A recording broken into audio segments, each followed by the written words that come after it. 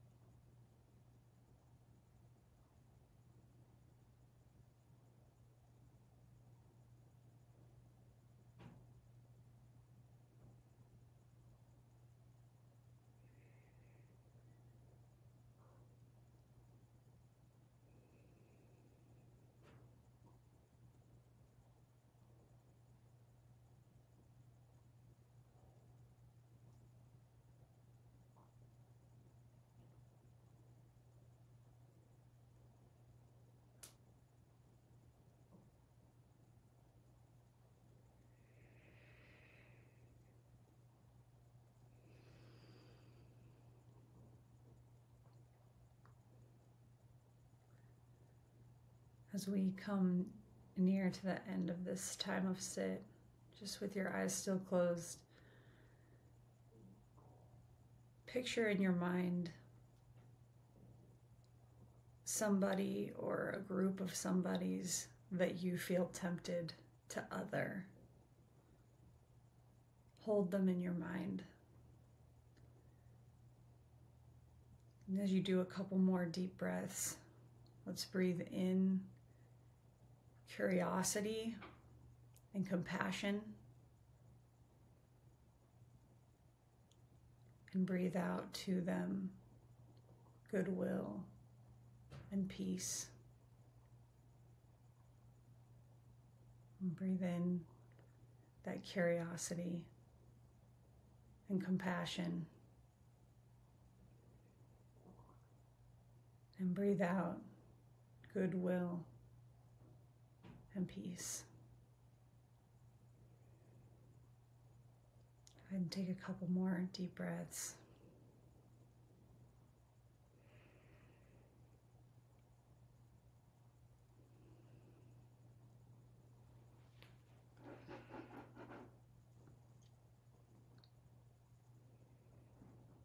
In the quote from Richard that I read to you before our sit, he mentioned the very human inclination toward paranoia.